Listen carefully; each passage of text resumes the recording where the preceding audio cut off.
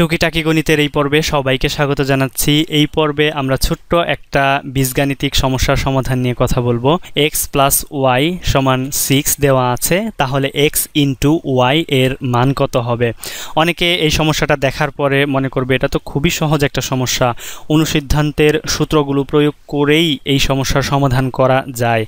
কিন্তু আপনি অনুসিদ্ধান্তের সূত্রগুলো সারা দিন যদি প্রয়োগ করেন, এটার মান আপনি বের করতে পারবেন না। যদি আপনি আমার চ্যালেঞ্জকে নিতে চান, তাহলে ভিডিওটা বন্ধ করে আপনি ট্রাই করে দেখতে পারেন। তো আমি আমার বন্ধুদেরকে এবং আমার স্টুডেন্টদেরকে এই সমস্যাটার সমাধান করতে বলেছিলাম। তো আমি যাদেরকে এই সমস্যাটার সমাধান করতে বলেছিলাম, তাদের কেউই আসলে সঠিক ব্যাখ্যা দিতে পারেনি বা এর ফলাফল বের করতে পারেনি। চলুন এই সমস্যাটা নিয়ে আমরা একটু বিস্তারিত কথা বলি।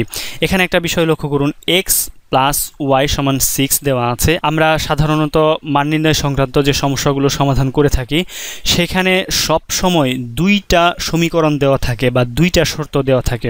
এখানে কিন্তু শর্ত দেওয়া আছে একটা, শুধু এক্স প্লাস ওয়াই আচ্ছা আপনি দেখুন তো এক্স প্লাস ওয়াই কতভাবে সিক্স হতে পারে? আমরা কয়েকভাবে দেখাচ্ছি। এখানে লক্ষ্য করুন, আমরা এক্সের মান যদি ওয়ান ধরি ওয়াইয়ের মান যদি ফাইভ ধরি, সেক্ষেত্রে কিন্তু আমাদের যোগফল সিক্স হচ্ছে। এক্সের মান ওয়ান এবং ওয়াইয়ের মান ফাইভ ধরলে এদের গুণফল কত হচ্ছে? অবশ্যই ফাইভ হচ্ছে। আমরা যদি আরেকভাবে ধরি এক্সের মান টু এবং ওয়াইয়ের মান ফোর সেই ক্ষেত্রেও কিন্তু আমাদের যোগফল সিক্স হচ্ছে। এই যে আমরা এখানে ওয়ান ধরলাম, নিচে টু ধরলাম, এটা ধরার কারণে আমাদের কিন্তু কোনো শর্ত ভঙ্গ করতেছে না। যেহেতু অন্য কোনো শর্ত দেওয়া নেই যে সেই শর্তটা ভঙ্গ করতেছে। এই ক্ষেত্রে এক্স ওয়াই এর মান কত হবে? অবশ্যই এইট হবে। নিম্মুক্তভাবে যদি আমরা ধরি এক্সের মান টু পয়েন্ট ফাইভ এবং ওয়াইয়ের মান থ্রি পয়েন্ট ফাইভ তাহলে আমাদের যোগফল সিক্স হচ্ছে, কিন্তু গুণফলটা বদলে যাচ্ছে সেভেন পয়েন্ট ফাইভ আমরা যদি আর একটু ভিন্নভাবে ধরি টু পয়েন্ট ওয়ান থ্রি এক্সের মান এবং ওয়াইয়ের মান থ্রি পয়েন্ট এইট সেভেন তাহলেও সিক্স হচ্ছে, কিন্তু গুণফলটা কত হচ্ছে? এইট পয়েন্ট সামথিং তো এইভাবে আপনি এক্সের মান ধরতে পারেন আপনার ইচ্ছা মতো। এক থেকে ফাইভের মধ্যে বা সিক্সের মধ্যে কতগুলো সংখ্যা আছে? অসীম সংখ্যক সংখ্যা আছে।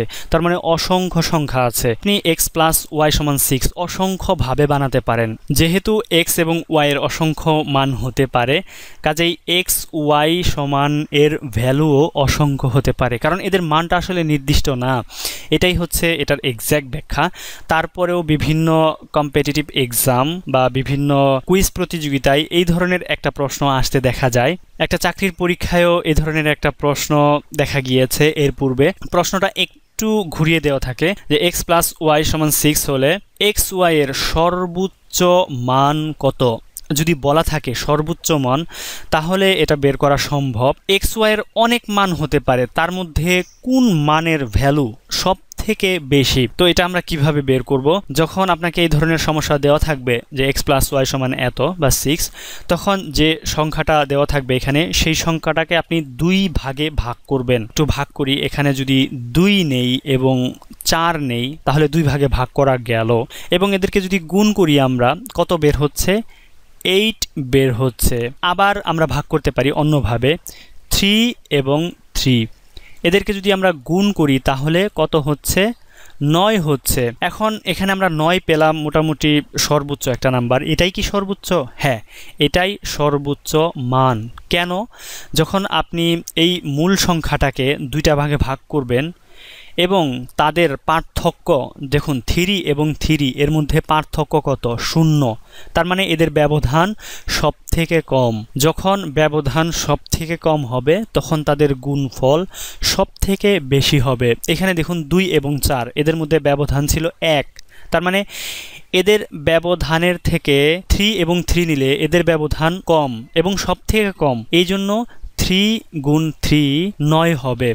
তো তাহলে এক্স ওয়াইয়ের সর্বোচ্চ মান আমরা নয় পাচ্ছি। জানি না আমাদের ভিডিও কেমন লাগল আপনাদের কাছে। যদি ভালো লাগে, অবশ্যই আপনাদের বন্ধুদের সাথে শেয়ার করে বিষয়টা জানিয়ে দিবেন। আপনি যদি এটা না পারেন, আপনি শিওর থাকেন আপনার বন্ধুদের অনেকেই পারে না। আপনি যদি শেয়ার করে দেন, আপনার বন্ধুরাও এটা শিখতে পারবে। তো আজকে এ পর্যন্তই। দেখা হবে আগামী কোনো লেকচারে টাটা।